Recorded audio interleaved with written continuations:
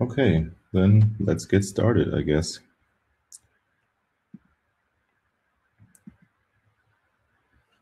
So, so welcome to my talk, um, Flink SQL in 2012. Um, first, I want to introduce myself. So I'm Timo Walther. I'm an Apache Flink committer and part of the project management committee of Apache Flink. I have been working on Flink for a very long time now. So I'm part of the Flink team before it actually became part of the Apache Software Foundation. Um, right now I'm working as a software engineer um, at Ververica. So Ververica um, was called Data Artisans before and got recently acquired by Alibaba. Um, at Ververica, I'm part of the SDK team um, and I'm focusing mostly on the table and SQL API and its ecosystem. So for those of you that don't know much about Flink, I will also give you like a very, very short introduction to what is actually Apache Flink. So Apache Flink is a distributed data processing system. Um, as you can see, we support a variety of use cases. You can build event-driven applications. You can build um, streaming pipelines. Um, you can do combined batch and stream analytical uh, pipelines, all of that on different storage systems, on different um, um, deployments like Kubernetes, Yarn, Mesos, and so on. You can connect to a variety of different um, um external systems for storage, like um, um, real-time event queues like Kafka. You can also connect to databases, file systems, other key value stores. So everything, like most most of the data can be processed with Flink, from logs to transactions to clicks, IoT, um, different different things. Um, if you want to summarize Flink in one sentence, like typical uh, marketing sentences, you will find all the keywords in this sentence. So Flink allows you to, to do stateful computations over streams, and it does that in a real-time fashion, but you can also process historical data fast, scalable, fault-tolerant, with event time semantics. You can process very large state in the orders of terabytes, and all of that can be happening in exactly once with exactly once guarantees. Um, so in this talk, I will mostly focus on, on SQL, but there are a lot of other flexible expressive APIs for different use cases. We have a complex event processing API. We have a stateful function API. We have a data stream API. Um, yeah, it is worth to look into the other APIs as well. As I said before, um, from the correctnesses or guarantees we can give, exactly one state consistency and event time semantics are one of the most important features of Flink. Um, and it also has, like Flink has already proven at scale, um, it runs on tens of, uh, of thousands of cores uh, and manages already terabytes, tens of terabytes of state, um, either in memory or on disk. Um, here you can see some of the users of Flink. Alibaba is a very big user of Flink, um, but we also have uh, telecom companies, we have banks, um, we have e-commerce companies um, like Zalando or Otto Group, um, Yelp, Uber, all the big tech companies are um, are in this chart, as you can see. So, but now let's focus on, on SQL. Um, what is Flink SQL in a nutshell? So basically what we aim is to have a standard compliant SQL service that allows you to query both static and also non-static streaming data like um, um, data um, while building on top of Flink, which means we can leverage all the performance of Flink, the scalability, the exactly ones consistency, and so on. Um, so maybe quickly explain again what what do we uh, understand under streaming SQL semantics. So first of all, um, usually tables are not static. Tables they they change over time. Um, think about like transactions um, um from applications, or we have inserts, continuous inserts from some ETL processes.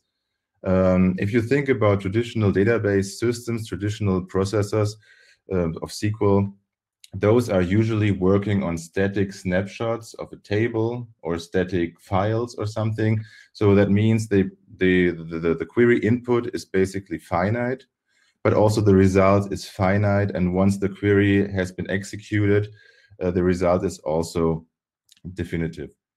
Um, streaming SQL means that you actually have more of like you basically you you um, you create standing queries like you're running continuous querying.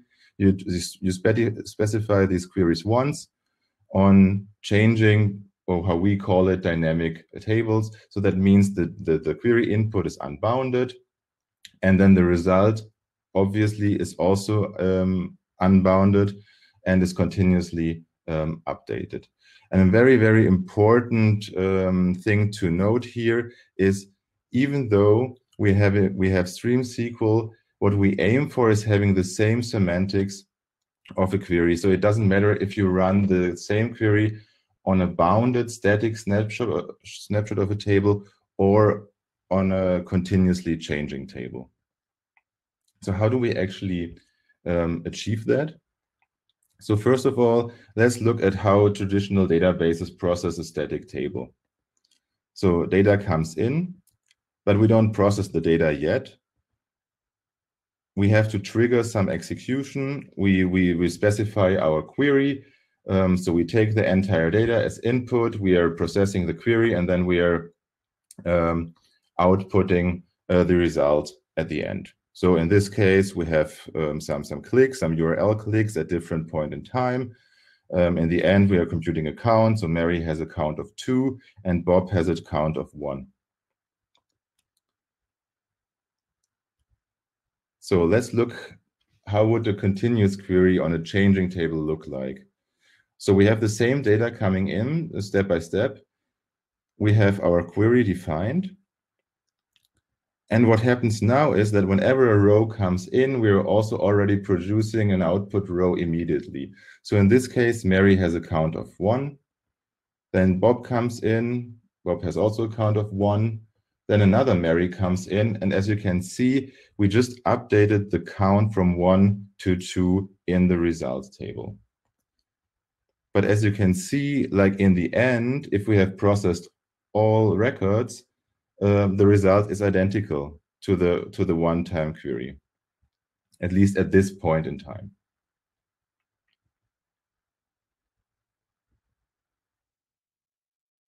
Why is this batch and stream unification so important? Um, so first of all, um, usability. We don't want to have like a custom stream SQL syntax. No, we want to be standard compliant. So you just have a declarative um, industry-wide language, um, and we are trying not to have any streaming specific results or semantics. So also from a portability point of view, you can copy a, uh, uh, I don't know, like a SQL query from an Oracle database over to Flink SQL or back. Um, in the in the best case, that should work. Um, and also from a portability point of view, you can run the same query on bounded and on unbounded data. So you can also decide when you want to start in the long um, timeline of your data. I mean, you have data from the past, you will have data in the future, and you have some data until now. And you, with this, with this flexible semantics, you can basically decide instead of um, instead of um, like cutting the timeline into pieces, you can define where you want to uh, where you want to start the processing. Do you want to start it now for the future? Do you want to start it somewhere in the past until now, or even from somewhere in the past and bootstrapping the state, backfilling the results from historical data, and then you're processing um, into the future. So this is up to you. Um, next topic we have to talk about is what about time? Because actually we are not in the streaming space. Uh, we are in the uh, we are in the streaming space. So what does that mean? Time is a very important building block when it comes to streaming, um, especially because um, some of the operations might need some um, some semantics of some temporal um, temporal um, yeah operations. Um, so I don't want to get into the details here because I want to start uh, with a demo. But what I can say is that Flink SQL, supports sophisticated event time handling. Under the hood, we are using the concept of watermarks that is also um, used um, at uh, for, for, other uh, or at other frameworks. Um, but usually this is not necessary for the users. So internally, we are performing some streaming optimizations, but those don't affect the SQL queries itself. So it's just an internal optimization. So what we are trying to do is to keep the state size low. We try to clean up state um, whenever this is possible. We are triggering computations um, based on watermarks um, if this is if this if this is possible. But we will see that in the demo. Um, so how does our demo look like? Um, we have different storage systems. So the demo is pretty huge. Uh, we have Apache Kafka, we have MySQL, we have an S3-like dummy storage with MinIO. Um, we are using Hive as a meta, meta store to store some catalog metadata. Um, we use Flink SD processing unit that unifies batch and stream processing for all these systems. Um, and we will also show how we process continuous queries in Kafka and MySQL. So our demo environment looks like this. So that we are using the SQL client, that's a, that's a CLI client, uh, um, um, part of uh, Apache Flink um, standards uh, distribution. Um, yeah, we have Hive Metastore here. We will submit queries to Flink's job manager. The job manager will schedule jobs and execute the queries on the, the worker nodes, the task managers. Those are executing the task and communicate to all the systems. Um, we have like a little script in the Docker image um, that serves as a data provider and it will ingest data a little bit slower into Kafka so that not all the data is immediately available, but slowly is dropping into, into our systems.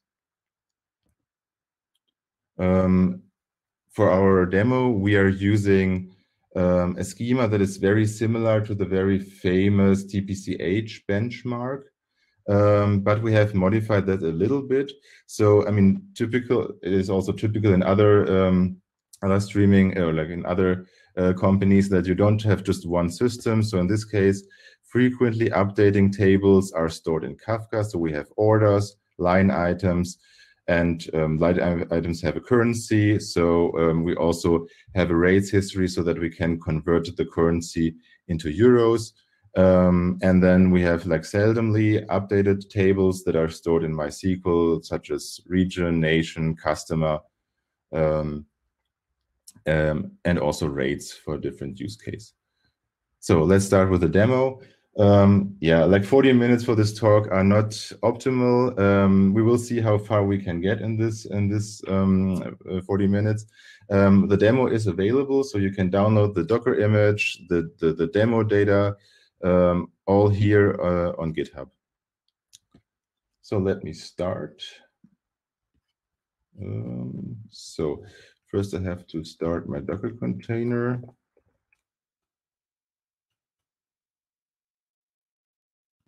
So all the systems are starting up. Um, we can also quickly show that we have actually stored something in Kafka. So let's quickly show something here. So I'm querying Kafka for the orders. I hope it works. Yeah, here you can see the orders are coming in slowly but steadily. We can also quickly look into MySQL. So this is the MySQL client. We can show the tables in. We can show the tables in MySQL. So all the, the customer production tables are here. We can also describe them real quick. This is how a, like the customer table looks like. Um, yeah, we have some MinIO running, as you can see right now, like this is this replaces our S3 storage. Um, as you can see right now, it is empty, but we will fill this uh, this storage soon. Um, we have Flink running, um, and Flink is running uh, is just waiting for jobs. So let's get started with the SQL client.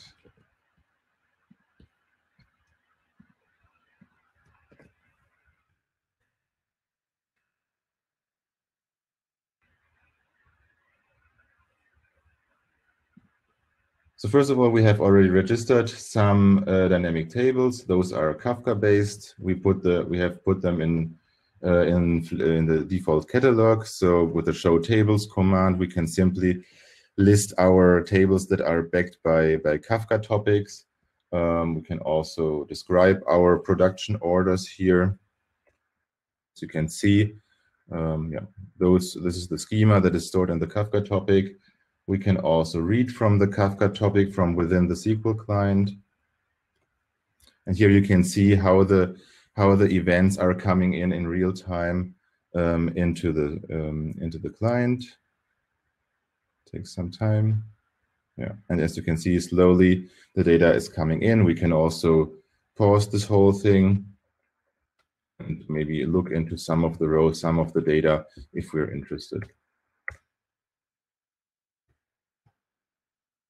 For the MySQL tables, we have stored the meta information about the MySQL tables in Hive. So we are using the Hive catalog um, here, and then we are showing the tables there. Here's the customer, the nation, the rates, and the region. Same as before, we can also read from MySQL and print the bounded result here that's it. The program finished because yeah, it's not a it's not Kafka. It's just MySQL, and we just list the table. So let's get started with some um, with some real queries.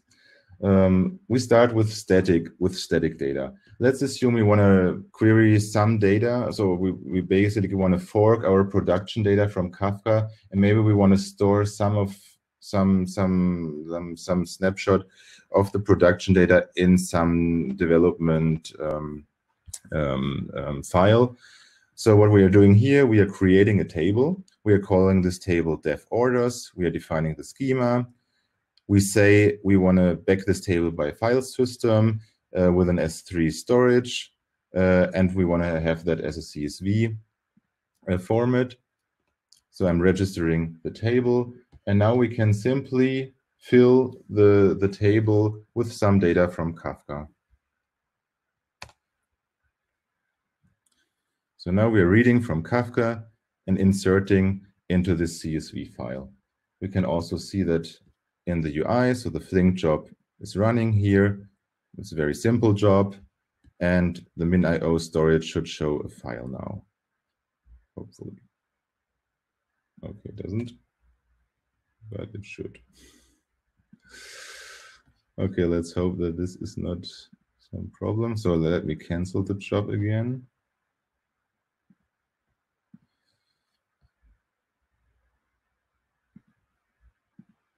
Okay, there, there is. It's just a very tiny CSV file. That's why it wasn't showing. Um, cool. So that means now we have forked a little bit of the production data into our into our CSV file.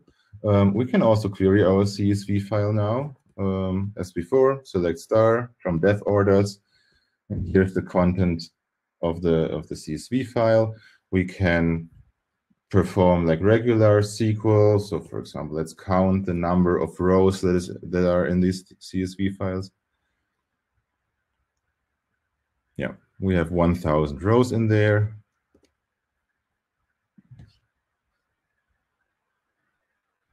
And an important thing to know is right now we were actually executing this into in the streaming mode because batch is just a special case of streaming. If you want to do this a bit, little bit more performant, you can also enable the batch mode so that speeds up queries a little bit.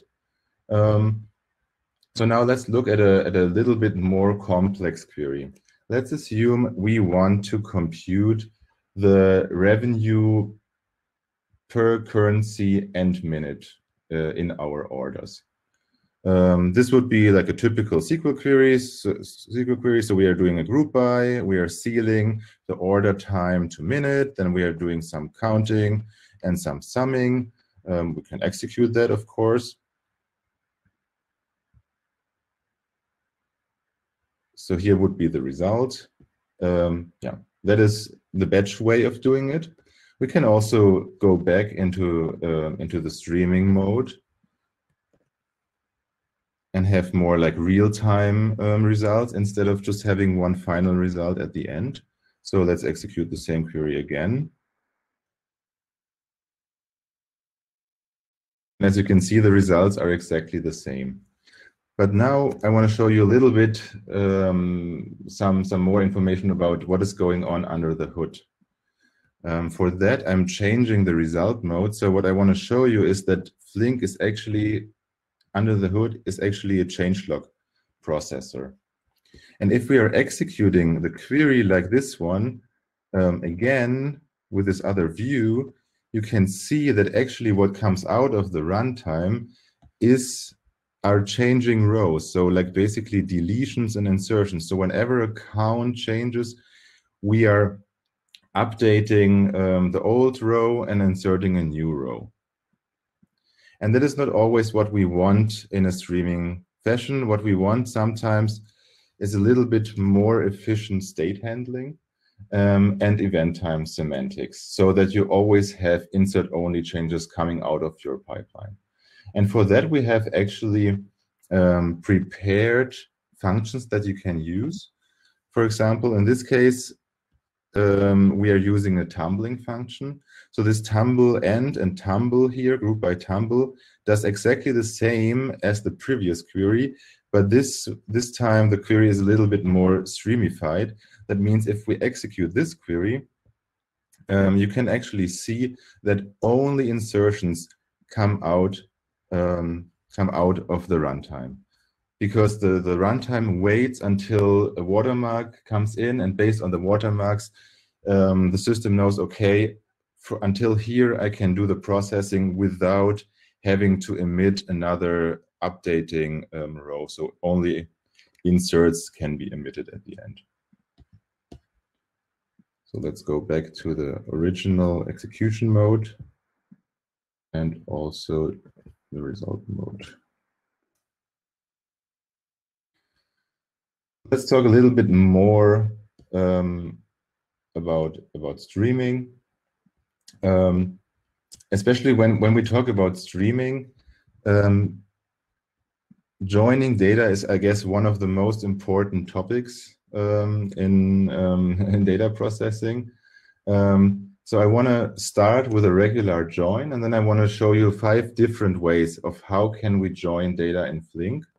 So the first regular join um, would just happen on static tables. So we can just use our Hive catalog um, and yeah, perform like regular SQL. I, don't I think I don't have to explain this query. It looks complicated, but yeah, it just joins some of the dev orders with the production customers in MySQL, production nation, production region, like a yeah, complex join operation. And then in, in the end, it does some, some counting. Yeah, nothing fancy. Every database system can also do that. The difference is that we're querying different systems here. Yeah, this would be the result. Um, so how does it actually look like if we go back to streaming? Um,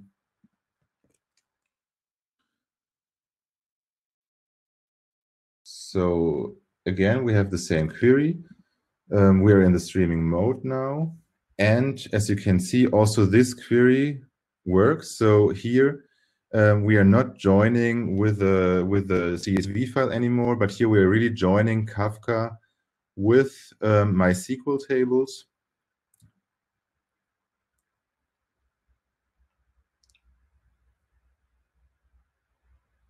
Yeah, as you can see, this is real time, so we are always joining the newest Kafka record with the tables in MySQL. And yeah, it's a never-ending query. Um, the properties, like some notable properties of this join is, um, the problem of streaming is, or like the of the semantics of a join in MySQL is that in theory, all tables can change at any time. So the system needs to keep all the tables in Flink state, which can be very, very expensive. So ideally, what you want to do is time bound the join a little bit because maybe you know that within a certain time period, um, all the rows will arrive. So like, I don't know, like in a window of 10 minutes, the matching rows should have arrived and we can perform the join. And after that, we, we can also discard uh, rows that we don't need anymore. And that's also what I'm showing in the next um, in the next example. So this example shows um, an interval join in Flink. Let me show the query first. Um, so what does this uh, join do? We are joining the production line item table and the production orders. So again, orders are Kafka, line items are um, are um, also Kafka in this case. So we are joining two Kafka topics.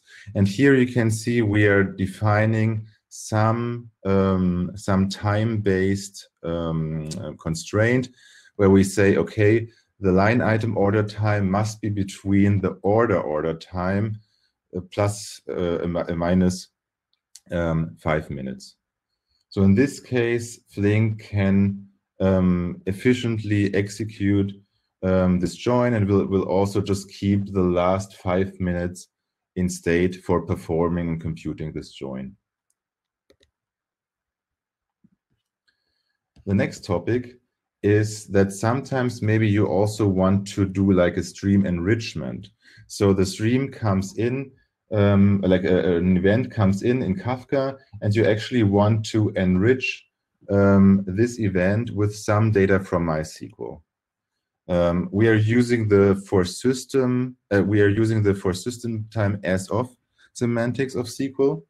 That means um, in this case, um, whenever a line item comes in, we are looking up um, the row based on, on the key here in MySQL. So we are performing a request to MySQL, give me um, the information about this currency at this um, at, just at the current time. So we are just looking up the current value of the or like the current the, the current currency um, conversion rate at the current wall clock time.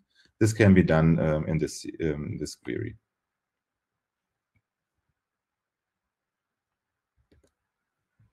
But sometimes what you actually want to do is you want to compute results um, or you want to perform um, a join with the conversion rate at that point in time. So you don't want to look up in MySQL at the current time, but you want to look up let's let's assume we have an event coming in at 12. We want to know the currency conversion at this point in time at 12. So in event time, basically. And we want to also quickly process maybe historical data. And we want to, at, at every point in time, we always want to use the value, the conversion rate that was valid for this point in time. And this is also possible um, in Flink. Um, we are calling this like temporal table join. Um, this is how the query looks like. So we have registered a special temporal table before, and this temporal table is basically a temp a parameterized view. That means you are giving in the order time of the line items, and the temporal table will give you um, the conversion or the currency conversion rate at that point in time. Um, yeah, I can also show it in how it is executed. Um, but I think it's not super fancy to see that. But like just so, so, that you know, there are different ways of joining in Flink for different use cases. Um, and in, in, in, in case of the temporal table join, you can even put the rates, the updating rates um, into a Kafka topic. So everything is backed by Kafka and, and can be computed not based on processing time, but really on the time when the event happened. So one last feature that I want to show you um, is pattern matching in Flink. Um, maybe you have heard of the match recognize clause. So match recognize is pretty new in the SQL standard, and it allows you to really do like complex event processing and finding patterns um, in your tables. Um, for that, um, I need a couple of, of lines. So I will quickly um, explain what I want to do in this demo. Um, the, the, the, the, the goal of this query is I want to find customers that have changed their delivery behavior. That means I want to search for a pattern where the last X line items had a regular shipping. And then from now to from then to now, um, the customer doesn't want like a pay on pay on delivery um, like yeah the, the, the, like he was always paying in advance and now he wants to pay uh, on delivery um, so first we need to create a helper view for that um, this helper view um, just joins the production line items with the production orders it's the same it's a similar query that I showed uh, before. So it's a it's an interval join around five minutes. And now comes the important part.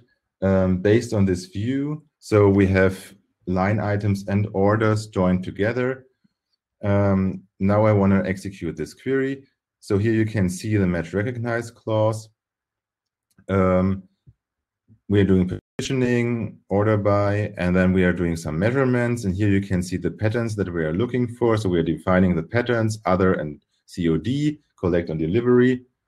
Um, and the patterns are defined as following. So this one is collect on the is not collect on delivery, and then we have a collect on delivery. And yeah, if five of those not collect on delivery are followed by the collect on delivery, then we are finding some some um, pattern here.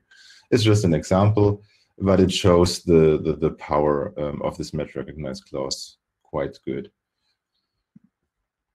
So because we're running out of time, I will stop the demo here. Um, but we have a lot of other um, a lot of other queries that you can run uh, in, in the GitHub repository.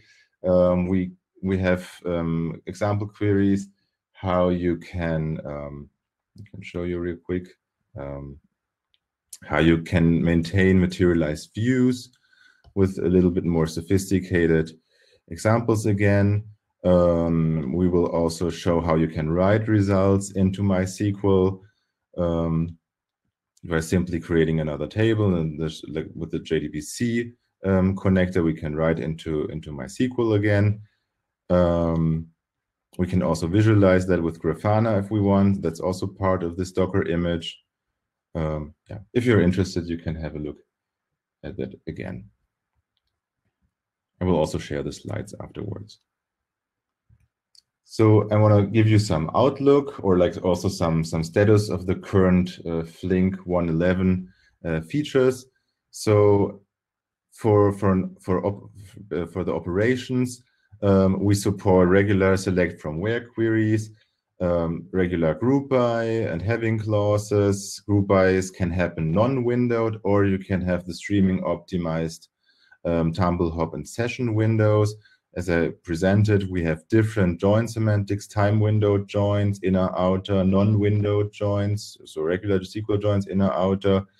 You can define your own user-defined functions for scalar aggregation or table valued processing. Then there are some operators that only uh, supported that are only supported in streaming right now, like um, over windows with bounded and unbounded preceding semantics. Then this inner join with this time version or temporal tables, external lookup joins, uh, match recognize. And for the batch side, we fully support the TPCS, um, TPCDS benchmark. And a very important feature that I just want to highlight again is the recently added changelog processing support. So we support Debezium, the Debezium format now, so you can connect to the CDC change data capture um, logs from Oracle, Postgres, and so on by, by using um, this connector. And you can read that, for example, from Kafka and then perform queries uh, on top of that. There was also a talk from my colleague Marta, also here on, on, on ApacheCon. Maybe you're also interested in that.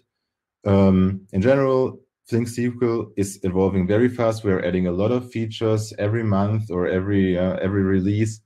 Um, you have the possibility to connect many systems in the data ecosystem. You can run continuous queries at scale, both on static and dynamic data. And you can do a lot more. As I said before, there are a lot of other APIs, notebook support, Python, and so on as well. So if there are any questions, I'm happy to answer them now. I see them.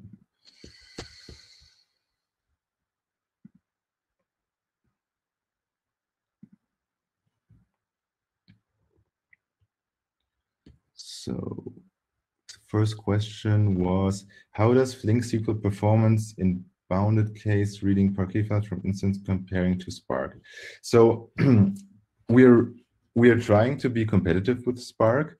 I saw benchmarks that even outperformed Spark um, because of the way how the Flink execution engine looks like, because we have a pipelined or streaming execution engine. That means instead of like um, instead of um, cutting the, the pipeline into chunks, we can also directly forward results that are available immediately to the next operator. So that sometimes also uh, improves the performance compared to Spark. Um, maybe you can maybe you can search online. I think there was a blog post also recently um, about the Blink planner and the performance to other systems, but I'm not sure about that.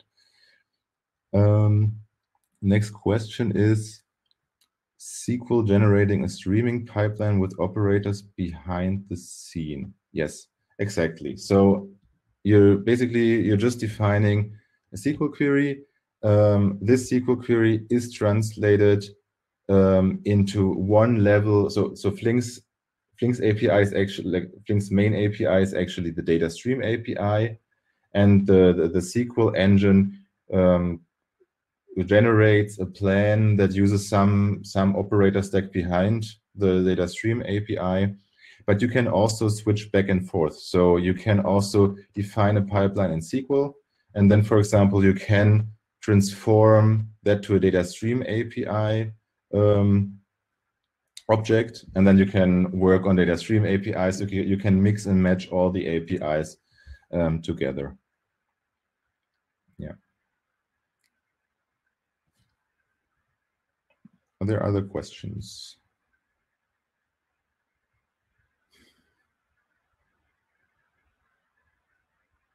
So is it possible to, yes, Flink on Kubernetes is supported, yes.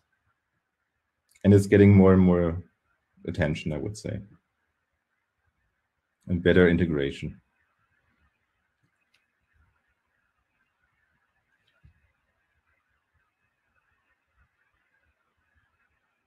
Other questions? We still have two minutes left.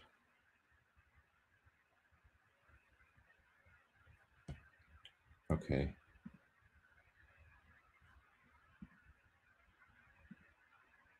So just to mention it again, if you're interested in Flink or in SQL, there is also our own um, conference very soon, like um, in October 19th to 22nd.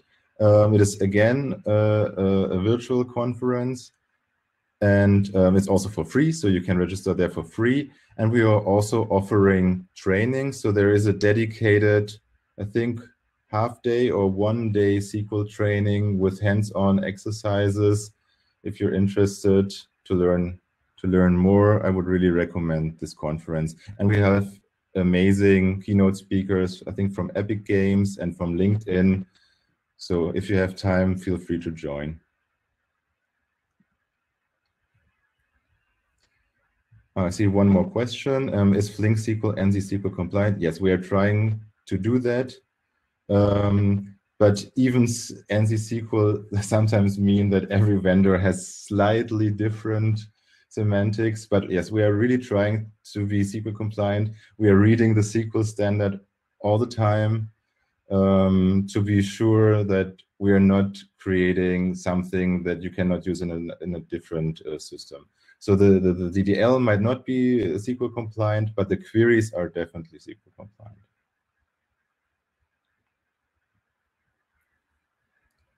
Okay, cool. So thank you very much. I think it's time to wrap this up. It was nice to present here and have a good day. Thank you. Bye-bye.